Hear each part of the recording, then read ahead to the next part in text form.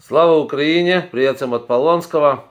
Э, сегодня утром СБУ проводит уже с самого утра э, обыски э, в десятки храмов, если это можно так назвать, промосковской этой УПЦ, которая на самом деле УПЦ МП, то есть Московского патриархата.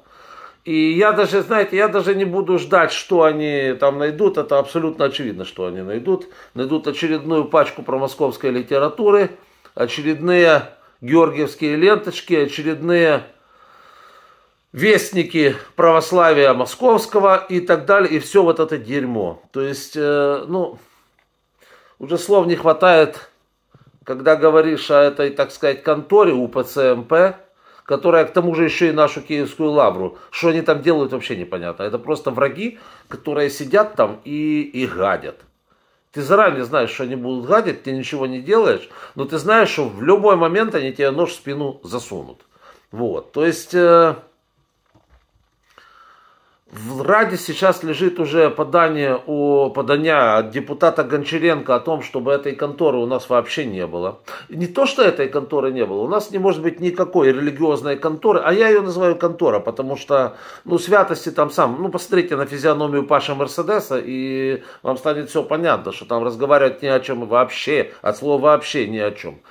Это такая, знаете, что такое у ПЦМП, это такое, знаете, бандитско-мафиозная такая контора, которая очень долгое время, э, даже не мафиозная, а бандитско-КГБшная, потому что у них большинство попов, вы же прекрасно знаете, кто они такие. Ну, кто постарше, понятное дело, что молодые, они уже больше по ФСБ, а те, что постарше, они по КГБ больше были, да. Там просто поголовно все с, с погонами были. Все до одного, там, я не знаю, тех, кто не служил.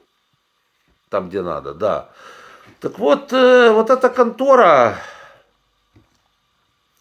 по ней уже подан э, запрос депутата Гончаренко, соответственно, о том, чтобы ее запретить в Украине. Не только что ее, а запретить любую контору религиозно-мафиозную, которая имеет Э, своего выгодополучателя за поребриком. В данном случае выгодополучатель это Российская Православная Церковь. То есть любой клон, любая дочка Российской Православной Церкви, которая есть, и любой другой российской религиозной, нельзя говорить только о УПЦ а не о ком-то другом.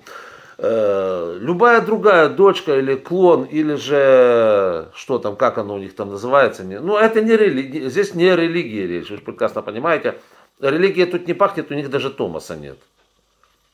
А какая религия может быть, если мы о Гундяева говорим? Вы чего? Сатана в чистом виде. Вот, то есть поэтому может быть любая эта организация, любая сатанистская организация, которая тоже к ним подходит, должна быть в Украине запрещена. Четко, понятно. Если там есть порядочные священники, я этого не отрицаю, что есть нормальные. Есть. Их, их наверное, даже большое количество. Они могут прекрасно перейти в нашу церковь, в украинскую, и все. А уж за лавры, что они там вообще делают?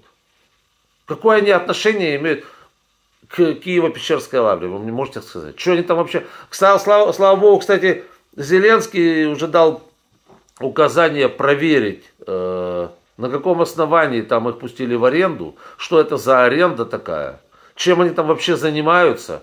И, кстати, где делись все экспонаты, э, экспонаты или как там эти святые мощи и так далее. Потому что я не исключаю, что там уже все подделки лежат. Что эти попы все потырили, все отправили, отправляли на Москву после 2014 года. Тут нужно еще проверять. Я и такого не исключаю. Вот, поэтому скажу одно. Это бесовская такая сатанинская контора. И тут я полностью... Мало того, что, понимаешь, мне наплевать. Пускай будут даже сатанисты. Опять-таки, мне на это наплевать. Это их, э, вот им нравится там э, свои сатанинские ритуалы проводить. Да пускай проводят сколько угодно. Вот это меня не касается.